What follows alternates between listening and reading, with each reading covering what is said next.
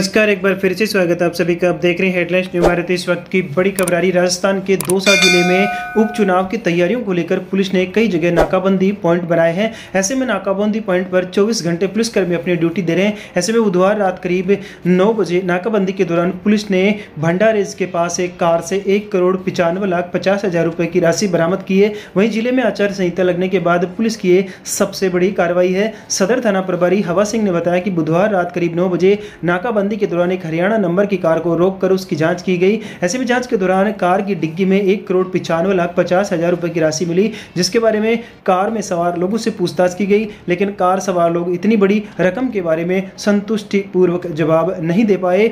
CO Ravi Sharma ने बताया कि उपचुनाव से पहले से ज़िले में भारी मात्रा में केस बरामद होने के चलते मामले में उच्च अधिकारियों को अवगत कराया गया है। वहीं इनकम टैक्स विभाग को मामले की जानकारी दी गई है। इसी दौरान मौके पर पहुँची इनकम टैक्स विभाग की टीम ने पूरी राशि को जब्त कर लिया। वहीं कार सवार लोगों से इतनी बड़ी राशि के बारे में जानकारी ली जा रही है। डीएसपी रवि शर्मा से मिली जानकारी के अनुसार हरियाणा नंबर की कार में सवार लोग जयपुर की तरफ़ से आ रहे थे। वहीं भंडारेज इंटरचेंज, वहीं भांडारेज इंटरचेंज से एक्सप्रेस पर चढ़ने के बाद दिल्ली की तरफ़ जा रहे थे, लेकिन एक्सप्रेस वे पर चढ़ने से पहले नाकाबंदी के दौरान पकड़े गए। Bureau report, the headlines, new Bharat.